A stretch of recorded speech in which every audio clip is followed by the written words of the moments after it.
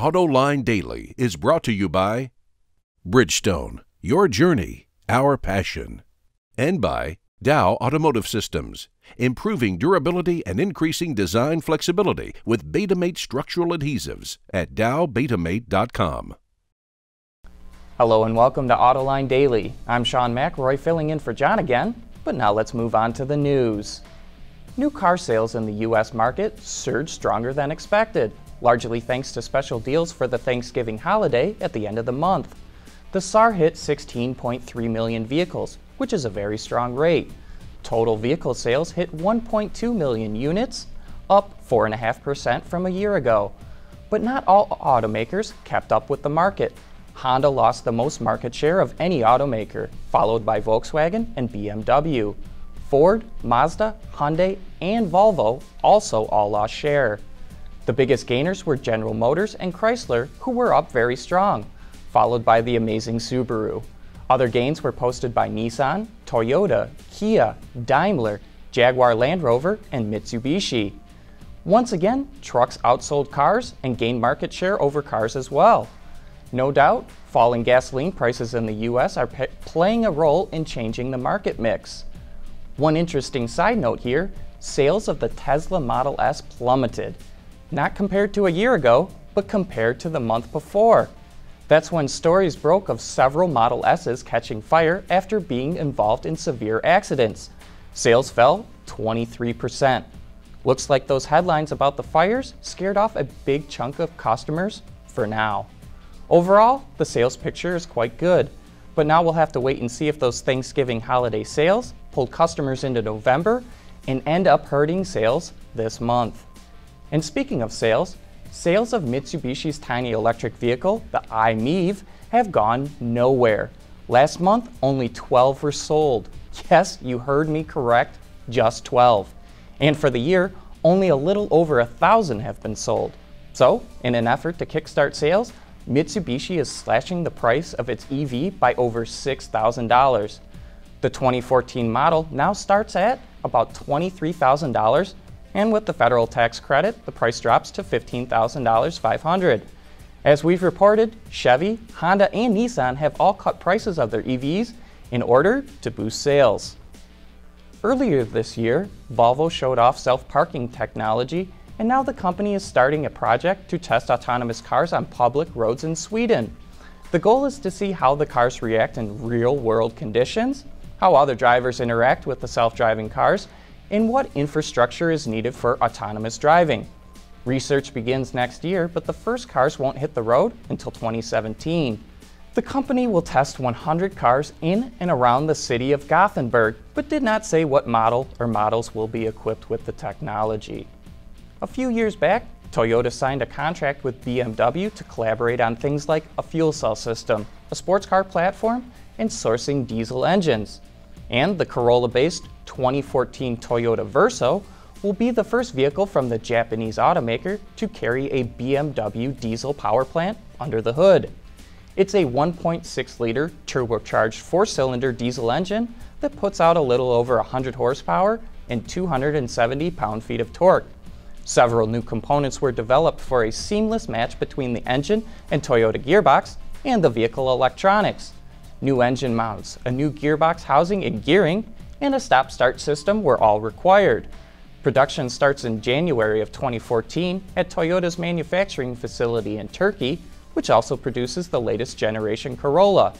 The Verso is available in Europe and a few other markets overseas. Coming up next, a look at the styling cues of the new Rolls-Royce Wraith. Here's one of the great things about the all-around performance of our Dueler tires. Excellent traction. Do you need a ladder? Yes, I do. Okay.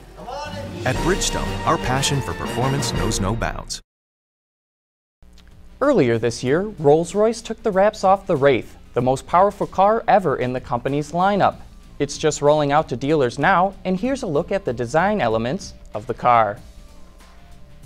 Hello, my name is Alex Innes. I'm one of the designers from the Rolls-Royce Motor Cars design team and I was involved in the creation of this wonderful car, the Wraith. And I'd like to take a couple of minutes just to talk you through some of the key design elements. Now, if we're to talk about the overarching inspiration for this car, it was the clear knowledge that this would be the most powerful car in the marque's history. And that is probably mo most evident here at the front end of the car. So straight away you have this deep set um, grille which draws a parallel with the intakes on jet engine aircraft. So there's a, a performance uh, quality to it. In the overall graphic of the car, there's a focus and intensity to the face of the car that we have not yet seen in recent times. Here it is all about the promise of power, but without overstatement.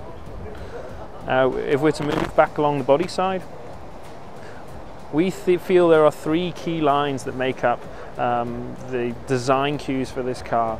So first of all, you have this pure, clean, uninterrupted shoulder line running all the way out to the rear.